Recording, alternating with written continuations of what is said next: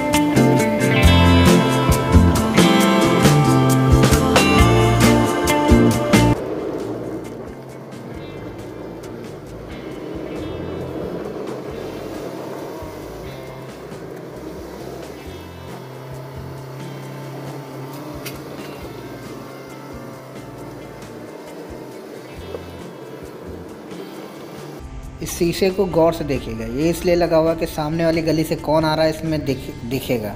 इसलिए लगाया हुआ है।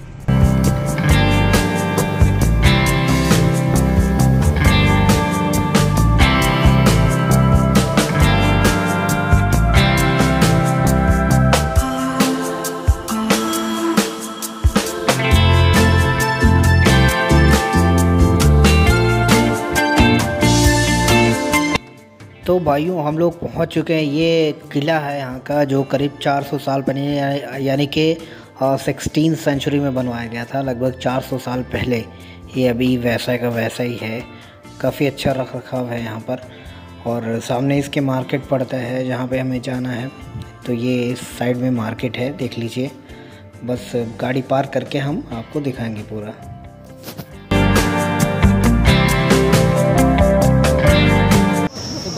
आ चुके हैं अभी मार्केट में। यहाँ पर ये काफ़ी पुराना मार्केट है। मैं जब, जैसा मैंने सुना है, उस हिसाब से लोग कहते हैं कि लगभग 300 से 400 साल पुराना मार्केट है। तो ये ट्रेडिशनल मार्केट है यहाँ का तो अभी मैं आप लोगों को दिखाऊँगा, ये पीछे किला है और इधर बकरियों का मार्केट लगता है और फ़िश का भी मार्केट है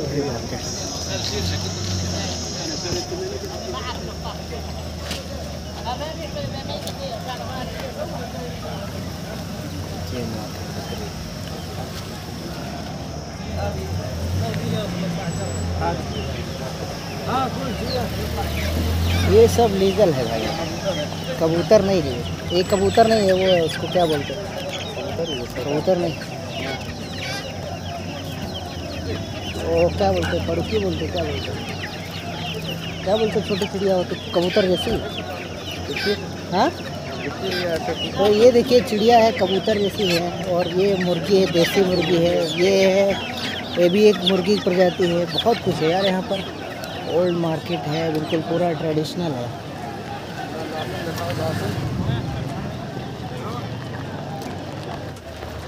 तो आप लोगों ने बहुत सारे जो है भ्रम पाल रखे हैं कि जो अरब अरब कंट्रीज़ हैं गल्फ़ कंट्रीज़ हैं, वहाँ पे मार्केट कैसे होते हैं। और यहाँ पर बिल्कुल सेम अलग है। तो काफ़ी डिफरेंट मार्केट है ये अभी तक जो मैंने सुना है उसके हिसाब से जैसे मिडिल ईस्ट में जो भी आते हैं वो उनको उनको मॉल वगैरह ये सब ज़्यादा अच्छा लगता है लेकिन अभी मैं ट्रेडिशनल मार्केट में हूँ तो काफ़ी पुराना मार्केट है ये तो मैं आप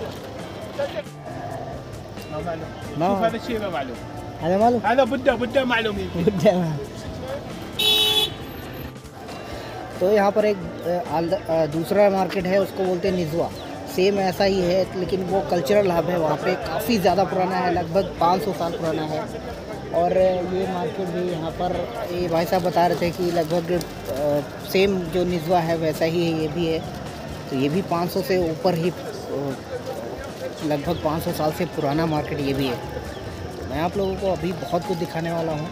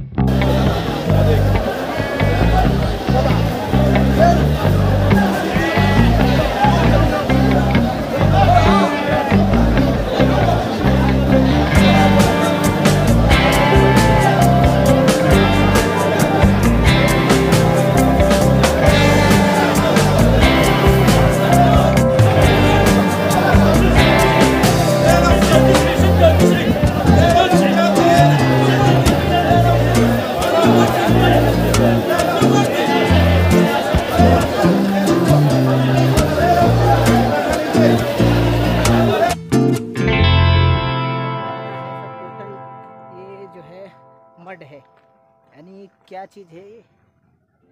ये मड का है, यानी कि लेकिन देखने में ऐसा लगता है कि मोरंग का बना हुआ है, लेकिन ये सब टोटल मड है। ये काफ़ी अच्छा लग रहा है मेरे को। पुराने ज़माने में यहाँ रहते होंगे, लगभग दस से बारह सौ साल पहले कैसा टाइम रहा होगा यहाँ पर। ये देखिए, ये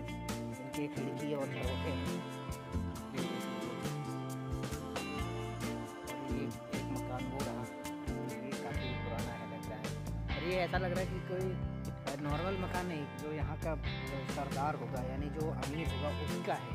तो यानी काफ़ी बड़ा है, इसलिए आप लोग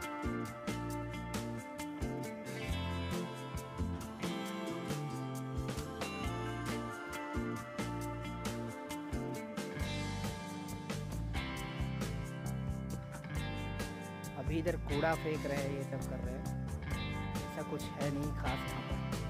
किसी ज़माने में जब यहाँ यहाँ का जो ए, मैं आपको बताना चाहता हूँ।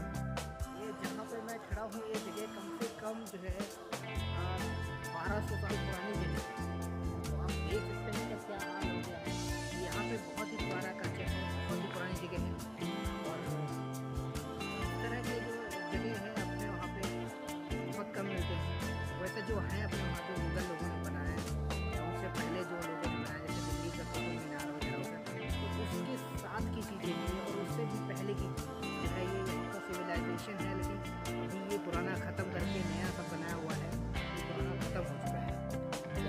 खास बात है कि ओमान के लोग या अरब के लोग पहले पानी तलाश करते हैं, जिस एरिया में पहले वो पानी ढूंढते हैं, फिर पानी जब उनको मिल जाता है तो उस एरिया में पानी जहाँ पर रहता है, जब तक रहता है पानी, तब तक यूज़ करते हैं, फिर उसको उस एरिया को छोड़ के चले जाते हैं। तो यहाँ पे भी सेम वैसा ही हुआ था। काफ़ी दिनों पहले पानी था, अभी नहीं है तो जा चुके हैं लोग। अभी क्या मतलब काफ़ी पुराना है ये। ये इसको अबेंडन हुए ऐसा लग रहा है, देखने से ऐसा लग रहा है। कि लगभग 200 साल से यहाँ कोई नहीं रह रहा है। लेकिन एक मार्केट है पीछे, बहुत ही पुराना मार्केट है। यहाँ पे ओमान में एक सिटी है निजवा। तो जितना पुराना वो मार्केट है, उतना ही पुराना ये मार्केट है।